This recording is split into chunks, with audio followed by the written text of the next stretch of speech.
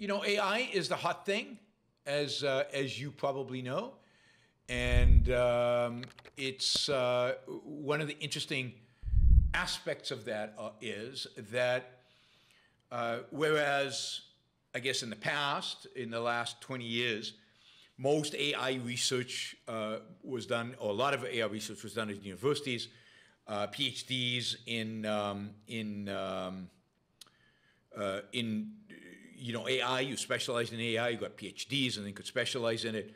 Uh, most of them, 80% of them, would go into academia. Um, that has flipped completely. So as of 2020, 70% of all AI PhDs went into uh, the private sector. Uh, the, uh, the private sector now is, is by far dominating universities in terms of cutting edge research into AI, into investment into AI, um, whether it's Google, now Microsoft, and, and pretty much everybody else uh, in, um, in, uh, in tech is investing heavily. Venture capital is investing heavily. It's the one area in venture capital right now that is uh, that you could raise a lot of money with. Um, the uh, uh, you know this this technology is going to be embedded into uh, software. So what's called generative AI, which is like the ChatGPT, is going to be embedded in Microsoft Office and Google Docs and Gmail and in pretty much everything, I think ultimately in Siri, in Alexa, in everything, will have ultimately this uh, ChatGPT-like uh, features. Every single one of the major tech companies has its own version.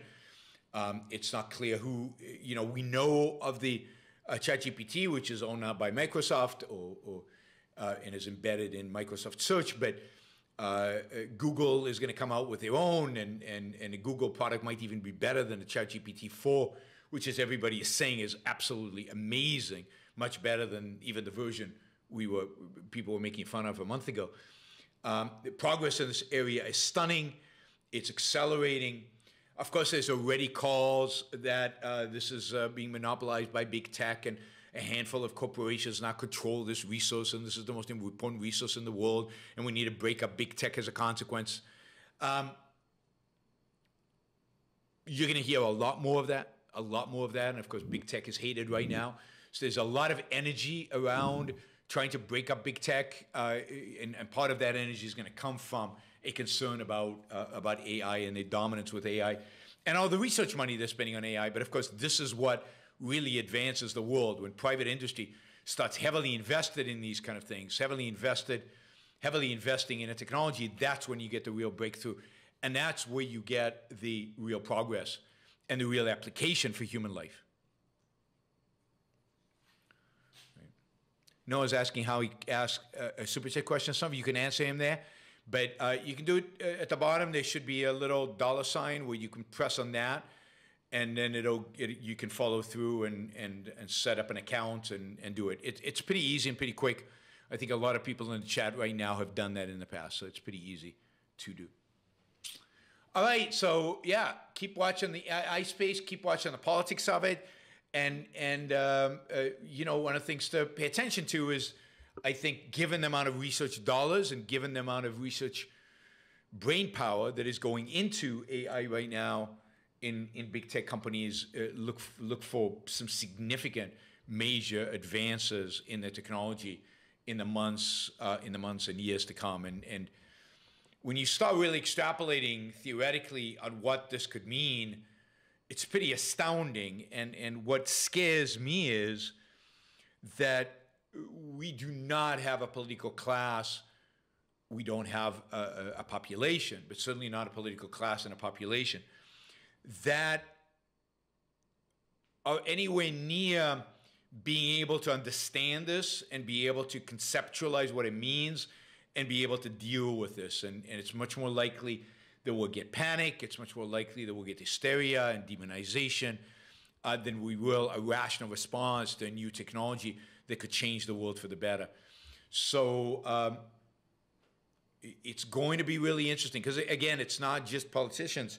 We get the politicians we deserve. It's the public, I don't think, has a clue what AI is, what it can do, what it can't do, uh, what is possible um, the jobs that it will indeed replace, the jobs that it won't replace, Uh, the educational, a whole, our whole educational system is going to have to restructure uh, given advancements in AI. Uh, many of the jobs that we have are going to have to be restructured given the advancements uh, in AI. But given that the educational system is government run, basically, uh, how is that going to happen? What's going to drive that restructuring? What's going to orient people towards the kind of jobs that that, uh, that will exist in an AI world versus the jobs that clearly won't exist in an AI world? Uh, what's going to orient people towards the right kind of employment, the right kind of jobs, the right kind of education? There is nothing, and people are not going to discover it by, by themselves. So this is, you know, this is a time where we need real thought, real focus on uh, orienting the world around us to really a, a, a, new technology that, again, has the potential to completely change the world in dramatic ways and relatively quickly. And yet,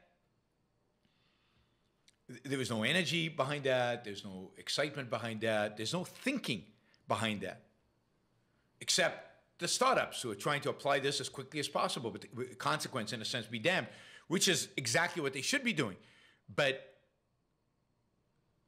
we don't have a leadership, intellectual or political, that is thinking through these things and providing answers to the real questions that should be arising uh, as a consequence of, um, of the rise of, of uh, AI and, and its potential into the future. Thank you for listening or watching the Yaron Brook Show. If you'd like to support the show, we make it as easy as possible for you to trade with me. You get value from listening, you get value from watching. Show your appreciation. You can do that by going to yaronbrookshow.com slash support, by going to Patreon, Subscribestar, Locals, and just making a appropriate contribution uh, on any one of those uh, any one of those channels. Also, if you'd like to see the Yaron Brook Show grow, please consider sharing our content and, of course, subscribe press that little bell button right down there on YouTube so that you get an announcement when we go live. And for you, those of you who are already subscribers and those of you who are already supporters of the show, thank you. I very much appreciate it.